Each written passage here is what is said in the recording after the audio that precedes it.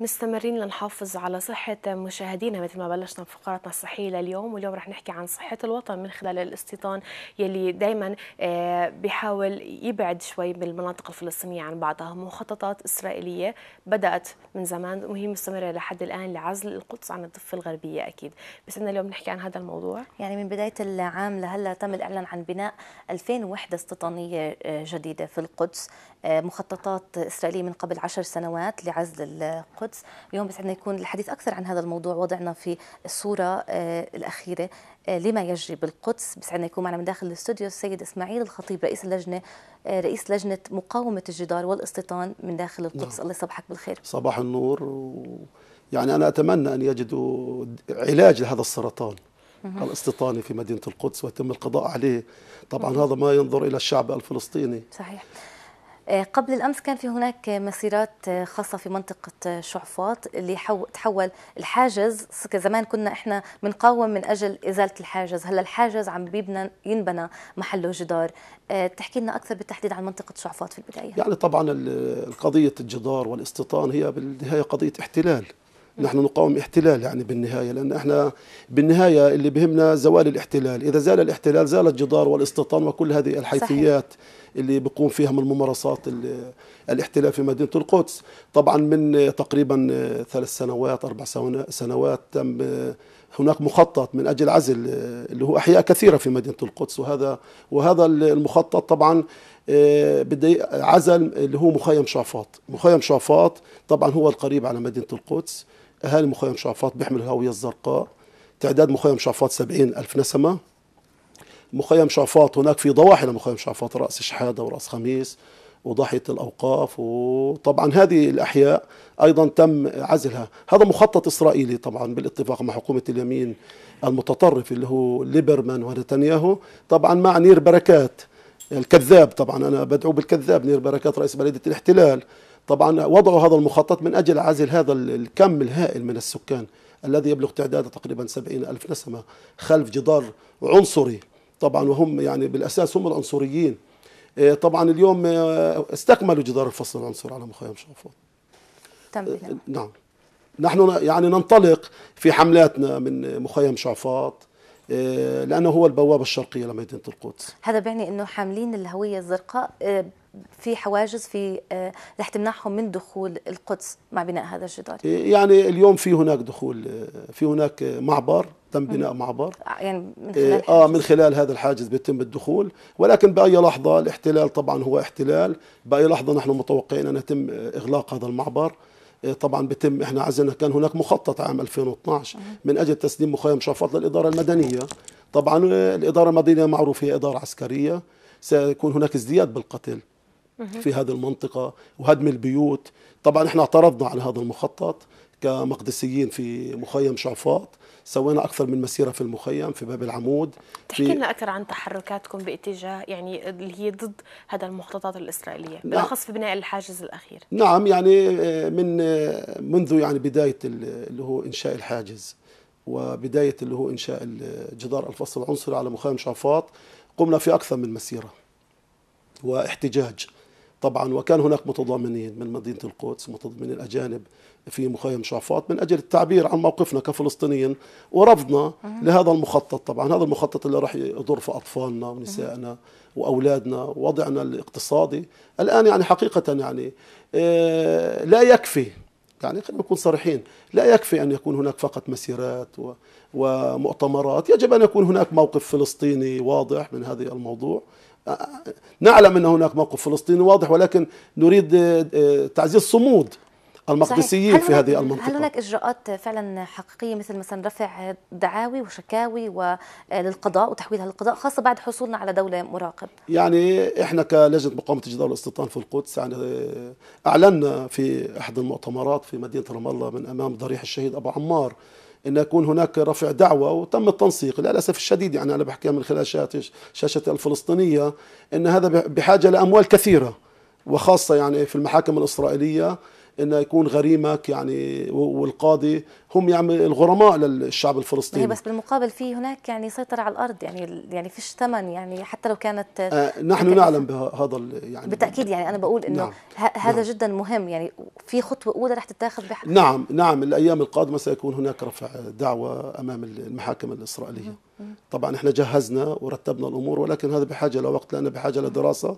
هناك عندنا ناس يعني متخصصين في العلوم الدولية السياسية. هناك طاقم محامين. آه، اليوم بجهز هذه المادة من أجل الدخول على المحاكم الإسرائيلية بقوة طبعا وإحنا اخترنا منطقة مخيم شعفاط لأن منطقة مخيم شعفاط رأس خميس وضوحيه بدفعوا الأرنونة وبدفعوا الضريبة وبدفعوا كل هذه آه، طبعا آه، للاحتلال. وإحنا طبعا كمخيم شعفاط المخيم الوحيد في منطقة القدس نحمل الهويات الزرقاء. آه، بدي أسألك كمان عن مخطط آه، ما يعني ما يسموه آه، الاحتلال الإسرائيلي بمخطط A1 اللي هو تم العمل عليه من قبل عشر سنين وتم نعم. الإعلان عنه بفترة قصيرة وهو عزل آه، القدس كليا عن الضفة الغربية. نعم يعني A1 هو مخطط تم وضعه تقريبا في من عشر سنوات. 2012 حكومة الاحتلال آه، اللي هو نتنياهو بالتعاون مع بلدية الاحتلال. طبعا وضعوا هذا المخطط وهيكلية لهذا المخطط. طبعا بعد الاعتراف الدولي بفلسطين كمراقب تم طبعا تصعيد الاستيطان في مدينة القدس وتم الإعلان عن هذا المخطط ببناء أكثر من 3600 وحدة إستيطانية في هذه المنطقة. هذه المنطقة التي تقع بين مدينة القدس حتى تصل أراضيها ل- البحر الميت. هذه المنطقة سيتم فيها بناء أكثر من 4000 وحدة استيطانية من أجل عزل مدينة القدس عن الضفة الغربية. طبعا هذا مخطط إسرائيلي من أجل استكمال الطوق الأمني الاستيطاني على مدينة القدس وعزلها. طبعا هذه هي السيطرة الإسرائيلية. حتى يفرضوا آه، بأي حل في المستقبل أن القدس تكون خارج أي معادلة سياسية. طبعا هذا نحن كفلسطينيين في مدينة القدس أكدنا على أن القدس هي العاصمة الأبدية للشعب الفلسطيني والدولة الفلسطينية. القدس لن نتخلى عنها نحن موجودين في مدينة القدس. طبعا اليوم آه، بنحارب آه، كفلسطينيين معزولين للأسف الشديد بنحارب كل هذه المخططات آه، بدون إمكانيات وإمكانيات محدودة. في مدينة القدس. مهم. أوكي إحنا رح نتابع الحديث أكيد عن الجدار والاستيطان في مدينة القدس بس رح نكون مع تقرير مع زميلي ساره العذراء وراجعين.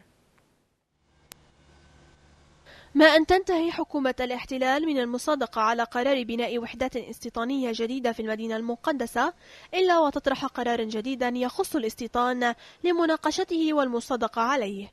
ففي تقرير صادر عن حركة السلام الآن الإسرائيلية أظهر فيه أن البناء الاستيطاني الإسرائيلي في القدس المحتلة في ارتفاع مستمر. وتبين من التقرير أن حكومة الاحتلال قامت ببناء 300 وحدة سكنية في البؤر الاستيطانية وبناء 1700 وحدة أخرى في المستوطنات المقامة على الأراضي المواطنين في القدس.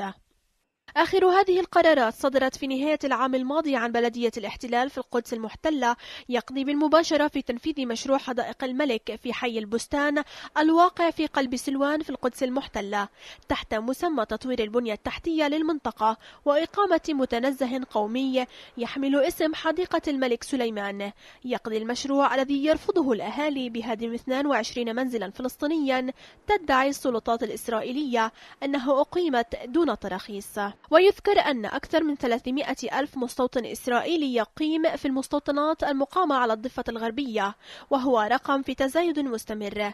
كما يقيم نحو 200 ألف آخرين في أكثر من عشرة أحياء استيطانية في القدس الشرقية المحتلة وهو أيضا رقم في تزايد مستمر.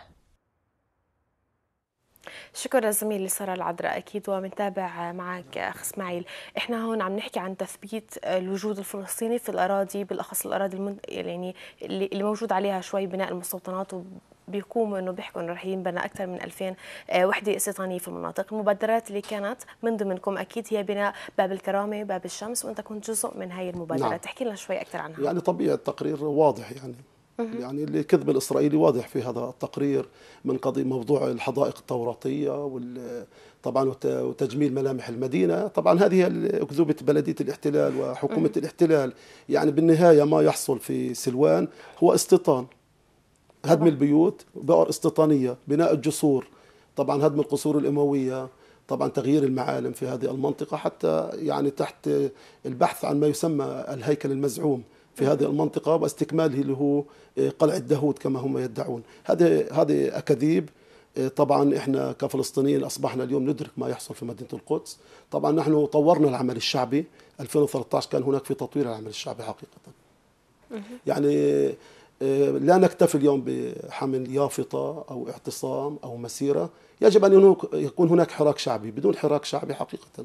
يعني لا نستطيع أن نرد على هذه المخططات. طبعا المخططات طبعا ليست بشكل هين. طبعا يعني كل يوم في هناك مخطط إسرائيلي على مدينة القدس. طبعا هذا هو من أجل تشتيت العقل الفلسطيني والجهد الفلسطيني في مدينة القدس. آه، طبعا المقاومة الشعبية في الضفة الغربية ومدينة القدس آه، اتخذت قرار على أن يكون هناك في تغيير بأسلوب المقاومة الشعبية. المقاومة الشعبية يجب تكون على الأرض. طبعا وأيضا بمشاركة الأهالي كما يقول المثل الشعبي ما بحرث الأرض إلا عجولها. يعني اليوم شمال غرب القدس مع قرية الكرامة خرجت كل بيت إكسا إلى إلى هذه القرية ونحن ندعو كل الأهالي اللي لهم أرض واللي ما لهمش أرض لأن هذه قضية احتلال ليست قضية شخصية يعني مع الاحتلال أن يخرجوا وأن يجلسوا في هذه الأرض ويمنعوا مصادرة أكثر من 2000 دونم لحساب الجدار الفصل العنصري. أيضا في منطقة A1 هذه المنطقة الحساسة اللي راح تعزل الرأس عن الجسد الفلسطيني طبعا وراح تقسم اللي هو الدولة الفلسطينية القادمة إن شاء الله. طبعا آه، نحن يعني من ناشد اللي تتكرر عملية قرية باب الشمس وستتكرر أيضا في داخل جدار الفصل العنصري وليست فقط خارج جدار الفصل العنصري. سيكون هناك قرى إن شاء الله قادمة آه، في مناطق لا نريد الإعلان عنها الآن لحساسية الموضوع في منطقة القدس لأن نحن نعول اليوم على الشارع الفلسطيني. يجب أن يكون هناك هبة شعبية. لا نكتفي فقط في لجان 20 شخص أو 25 شخص يقفون على حاجز أو من خلال مسيرة. إذا لم يكن هناك جماهيرية واضحة في مدينة القدس أيضا بدعم اللي هو فلسطيني واضح لمدينة القدس تعزيز صمود المقدسيين والمواطنين. أيضا موقف عربي واضح من هذا الموضوع. أيضا موقف دولي لا نكتفي فقط من أمريكا وأوروبا استنكار هنا وهناك بخصوص موضوع الاستيطان. يجب أن يكون هناك قرارات واضحة لأن الآتي راح يكون أعظم. هذا بالتحديد كنت أسألك عنه. أنت مقدسي يعني وأنت رئيس كمان لجنة المقاومة مقاومة الجدار والاستيطان ودائما نعول على كلمة إنه بنطلب آه، من الناس المساعدة بنطلب من قرار سياسي آه، بشأن القدس. ولكن الأيام يعني آه، يعني الحديث عن أربع آه، مخططات إسرائيلية الاعلان عليها من بداية السنة. إحنا لسه ما انهيناش نعم. الشهر. آه، إيش التخوف الحقيقي اللي عندكم؟ وإيش هي المطالب فعلا الحقيقية؟ وأنت مقدسي يعني في لك بيت وأرض بالقدس. يعني أنا لاجئ فلسطيني. أنا جزء يعني من مدينة القدس الآن. نحن ك يعني مخيم شافاط هو المخيم الوحيد في منطقة القدس. طبعا هو يعني حقيقة خلينا نحكي إحنا بصراحة وعلى الهواء. مدينة القدس مسيطر عليها كليا. اقتصاديا وسياسيا حتى وبشريا. اليوم هم يتحكمون بحركتنا بالدخول والطلوع. يتحكمون بحركتنا حتى إذا نزلنا على الأسواق من خلال الكاميرات. اليوم يتحكمون بلقمة العيش. اليوم في في مدينة القدس 65% تحت خط الفقر. وهذه نسبة يعني ليست بسيطة. طبعا هذه المخططات.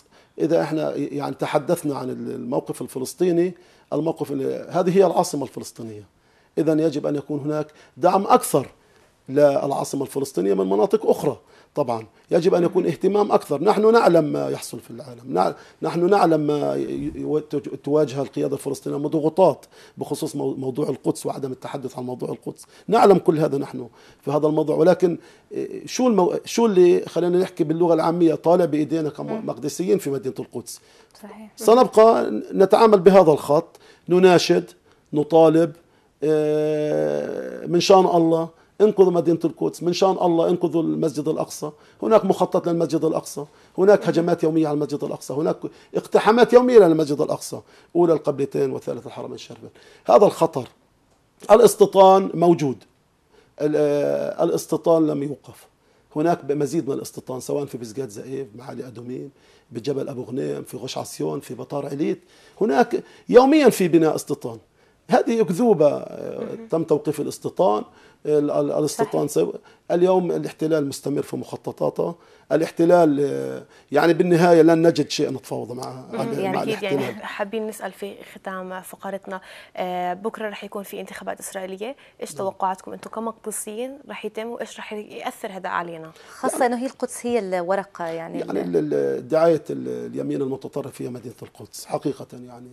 مدينة القدس آه، طبعا آه، كل المخططات من 2012 و2011 من أجل آه، هذا اليوم من أجل غدا من أجل يوم الثلاثاء اللي هو الانتخابات الإسرائيلية. ما يحصل في الضفة الغربية من دعم حكومة اليمين المتطرف وإحنا بنشوف يعني يوم يوم قلع أشجار الزيتون والهجوم على الكنائس والمساجد والمواطنين وحرق السيارات والبيوت وكتابة الشعارات المعادية. والهجوم على القرى طبعا والناس نيام. طبعا هذا كله هو بدعم من حكومة اليمين المتطرف لأن هم واعدينهم أنه لن يكون هناك انسحاب من الضفة الغربية لن يكون هناك انسحاب من مدينة القدس. هذا هو البرنامج اليمين المتطرف. لن يكون هناك دولة فلسطينية. طبعا آه كمان هذا تحدي للشرعية الدولية تحدي للدول التي اعترفت بفلسطين في هيئة الأمم. طبعا تحدي لأمريكا تحدي لأوروبا. اليوم الاحتلال يعمل ما يشاء. غدا ستتوجه اللي هو اليهود إلى صناديق الاقتراع. طبعا آه، هنا في الضفة الغربية يوجد أكثر من 600 ألف مستوطن. هذه هذول المستوطنين سيصوتون لصندوق اللي هو ليبرمان ونتنياهو. طبعا بالمقابل هناك متطرفون كثيرون في دولة إسرائيل. طبعا الخطر 2013 آه، راح يكون أخطر من 2012 لأنه راح تأتي حكومة يمنية متطرفة. أنتم قلت لكم بكرة راح يكون في لكم آه، وقفة أمام باب العمود. إيش الرسالة اللي بدكم تحكوا؟ طبعا إحنا رسالة يعني إحنا كمقدسيين آه، فقط إحنا نقف باب العمود من خلال اليافطات نحن لا نتدخل بالانتخابات الإسرائيلية حقيقة. يعني آه، ولكن سنوجه البوصلة سنطلب من أي حكومة قادمة أن تكون شريكة للسلام. تؤمن بالانسحاب من الضفة الغربية ومدينة القدس وقف الاستيطان وقف التهويد وقف طرد الفلسطيني خارج مدينة القدس. آه، طبعا آه، وإزالة جدار الفصل العنصري. طبعا هذه إحنا اللي بنتأمله يعني من الحكومة رغم أن العنوان واضح يعني من آه، من 2012 من سيأتي على الحكم. ازدياد الاستيطان عزل مدينة القدس. أنا أتخوف كمان يعني حقيقة من تقسيم المسجد الأقصى. لأن كمان هناك كان مخطط 2012 ولكن آه، مع كثرة المخططات طبعا هم يبدون مخطط على مخطط. الوضع خطير جدا. آه، بحذر أنا العالم من هذا ما يحصل في مدينة القدس. مدينة القدس الآن مهمشة معزولة. الفلسطيني يقتل في مدينة القدس. حقيقة الفلسطيني آه، يطرد من مدينة القدس. تصادر أراضيه تصادر بيوته. يتعرض لجميع كافة الانتهاكات الإسرائيلية المخططات الإسرائيلية بدون ما نتمنى أن الصورة تكون نعم. وصلت موقف دولي وأوروبي واضح وعربي واضح حقيقة يعني. أكيد. إسماعيل الخطيب رئيس لجنة مقاومة الجدار والإستيطان شكرا لك. ولوقتك اللي أعطيتنا إياه في البرنامج. شكرا لكم شكرا لكم. هلا فيك. من بعد هالفاصل بنتابع ما تبقى من الله يصبحكم بالخير. خليكم معنا.